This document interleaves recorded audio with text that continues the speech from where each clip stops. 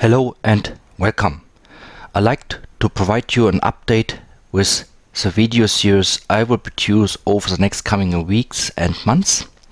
We're going to go in details about functionalities of optimized coil systems to transmit and to receive electromagnetic waves. I go in details into the functionality what role has a permanent magnet to play with this kind of coils in terms of energy harvesting, in terms of energy transmitting. So this investigation I will demonstrate will answer the question of if Magnacoaster or other systems which are with permanent magnet um, um, configured, if they actually can work.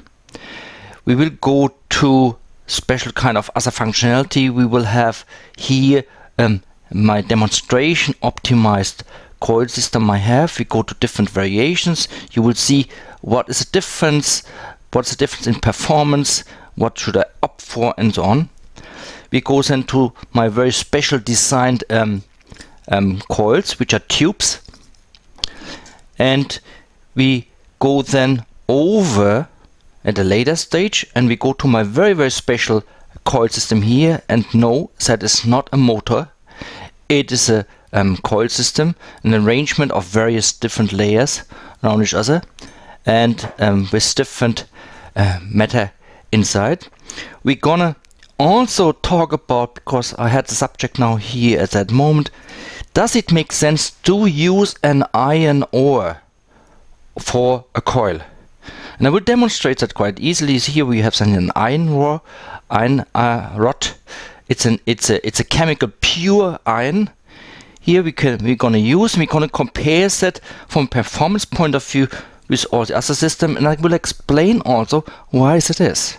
So the obvious things you can expect from such a core in terms of behavior and why when such a suggestion is made to use iron ore as a core material that they most of the time will fail. And I will demonstrate that why, will demonstrate what options we can use here and how we can improve on the performance of the coil systems.